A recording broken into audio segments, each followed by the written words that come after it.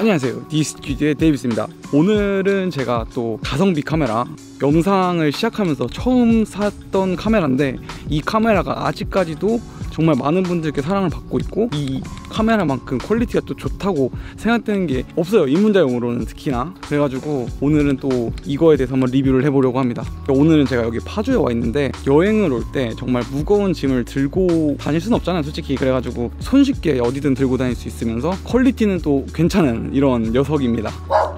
오 깜짝이야. 강아지가 갑자기 짖고 있어 진짜 정말 오랜만에 이렇게 한적한 마을에 와가지고 영상을 찍고 있는데 지금 보면 아무도 없어요 어쨌든 그렇기 때문에 어, 다들 어디 가시나 보네 어? 허, 허브 따러 간다고? 항아리 하는 거 한 번 더 찍어봐. 네 알겠습니다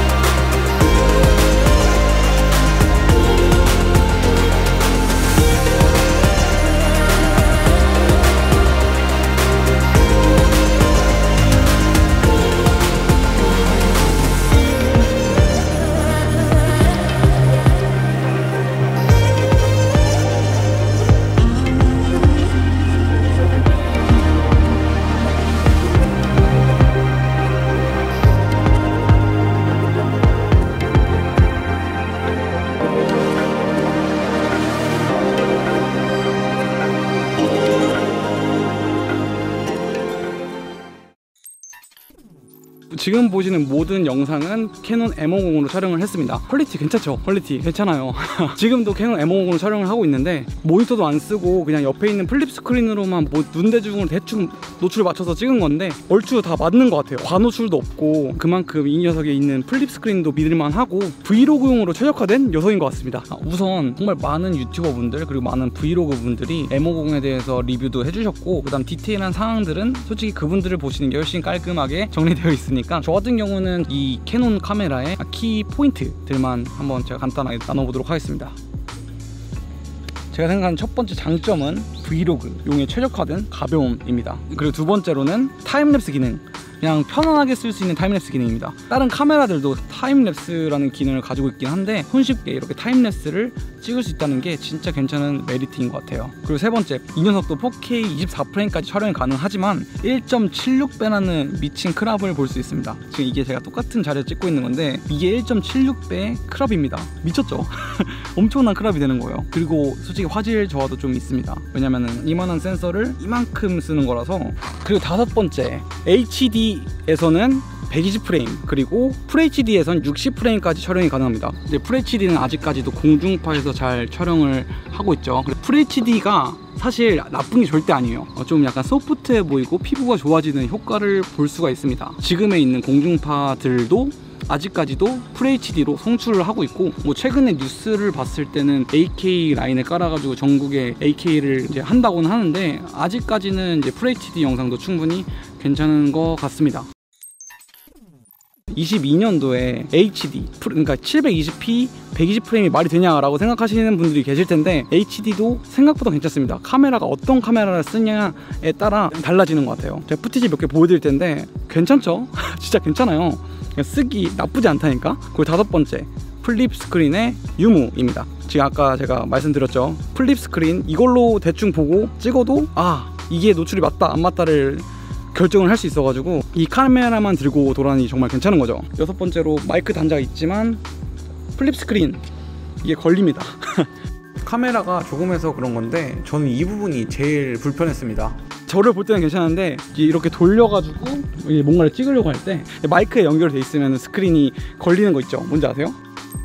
그리고 일곱 번째 또 단점이라고도 볼 수 있는데 손떨방이 없습니다. digital image stabilizer가 있는데 여기 써보시면 아실 텐데 엄청 뒤, 뒤에 배경이 막 울컥울컥 거리거든요. 이걸 뭐 신경 안 쓰시는 분들은 써도 되는데 저 같은 경우는 그렇게 선호하지는 않습니다. 그리고 아홉 번째 CineStyle이라는 third party의 앱이라고 해야 되나?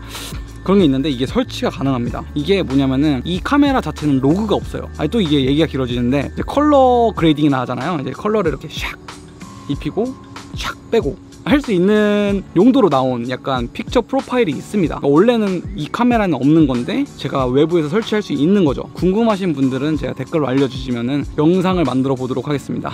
어쨌든 아홉 번째 괜찮은 색감입니다. 지금 보시면은 색감 괜찮죠? 배경을 살짝 보여드리자면 이런 식으로 좀 실제로 보는 듯한 느낌의 약간 색감이죠.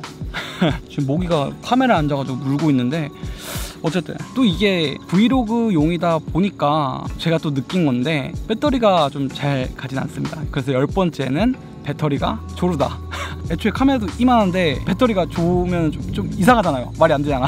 어쨌든 다른 카메라보다는 확실히 별로 안 좋아요.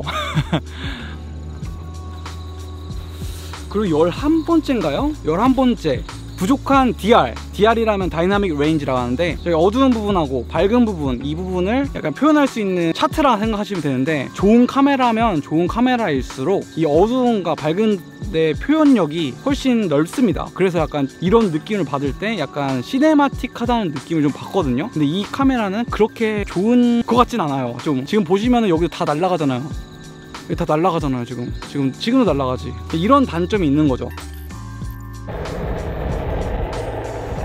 12번째로 저조도 상황에선 그렇게 좋은 성능을 보여주지 못합니다. 사실 지금 여기 되게 밝아요. 조명이 잘 돼 있어서 되게 제 얼굴 잘 보일 텐데 지금 살짝만 이렇게 빛이 없는 공간으로 도게, 들어오게 되면 벌써 벌써부터 좀 어두워지죠? 뭐 가로도 가로수길이야 뭐 빛이 있으니까 밝은데 지금 여기는 지금 빛이 거의 없잖아요. 그러니까 진짜 안 보여요. 제 얼굴 거의 안 보이죠 이 카메라는 crop sensor를 사용하고 있는 body이기 때문에 센서 크기가 조그마잖아요. 그러다 보니까 저조도 상황에서는 조금 불리한 면이 있습니다. 그래도 밝은 렌즈를 사용하면은 이 저조도 상황에서 충분히 좋은 quality를 받을 수 있으니까 제가 한번 보여드릴게요. 네, 파주 영상 마무리인데 저조도 상황에서 밝은 렌즈를 사용해 가지고 찍은 영상 한번 보시죠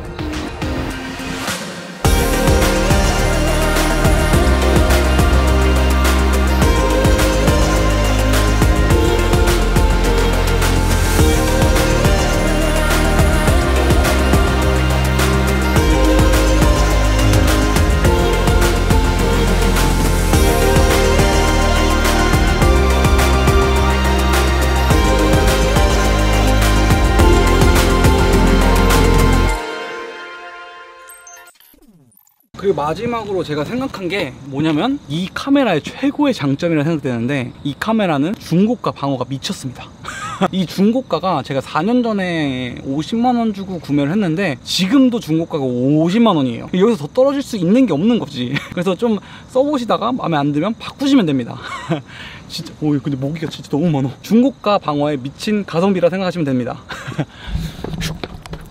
지금 처음 영상을 시작하시는 분들이라면 저는 진짜 이 카메라를 강추합니다. 다른 거 필요 없어. 좋은 것도 되게 많은데 이 카메라로 시작하신 다음에 어, 마음에 안 드시면 파시고 아까 말씀드린 것처럼 중고가 방어가 진짜 잘 되어 있는 카메라니까 한번 생각을 해보시고 어쨌든 저는 여기까지 하겠습니다. 안녕히 계세요. 피스.